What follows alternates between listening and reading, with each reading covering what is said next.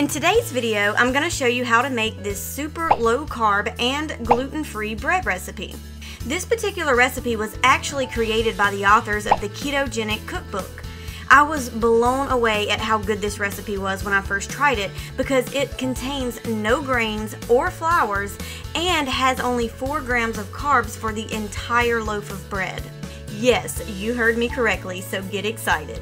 Here's what you're going to need.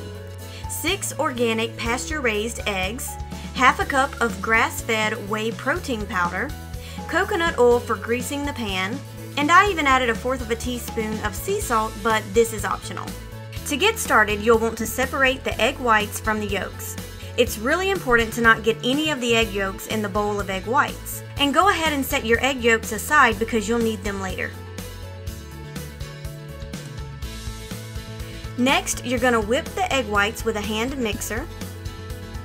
And if you don't have a hand mixer, you can do this by hand, but it will take much longer. And keep mixing until you reach a whipped cream-like texture.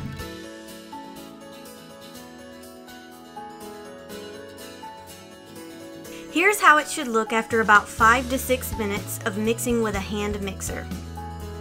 Next, add the rest of the ingredients to the bowl and gently mix until it is well blended.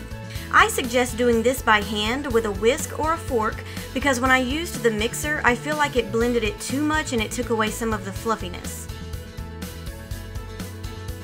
Grease your pan generously with coconut oil and then pour the bread mixture into the pan.